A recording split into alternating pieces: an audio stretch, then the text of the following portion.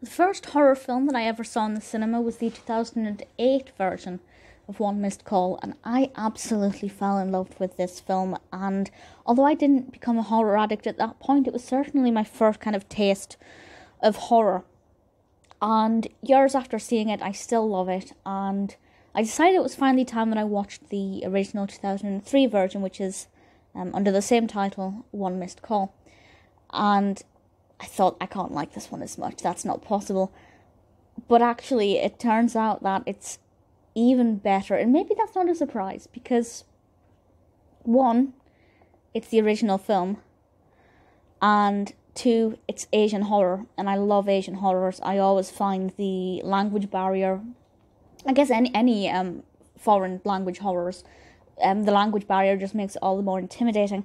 Um, and basically, this one is the same narrative as the remake, and people receive voicemail messages on their phone, and these messages are from themselves in the future, telling them that they're going to die. And one by one, these people start dying in the most the most ludicrous ways imaginable. It just gets more and more intense.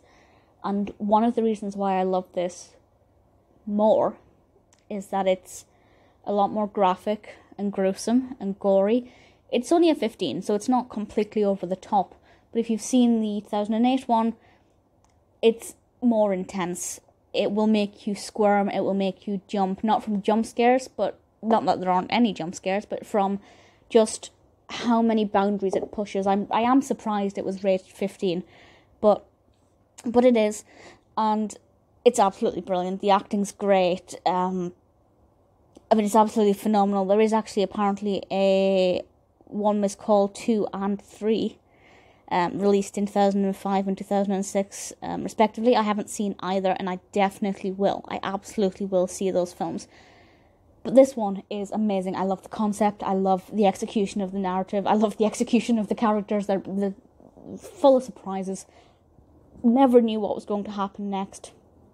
It's absolutely brilliant. It is a Japanese film and definitely my favorite Japanese film without question. I will watch the other two as soon as I can.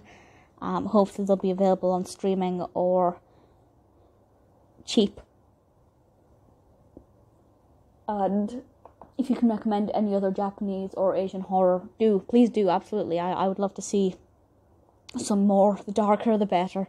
But for now, I'm pretty happy with One Miss Call. It's a film I'll watch again and again, and I thoroughly recommend it if you like horror, but not if you're new to horror. I should point that out. If you're new to horror and are very easily scared, this may put you off the genre because it's intense.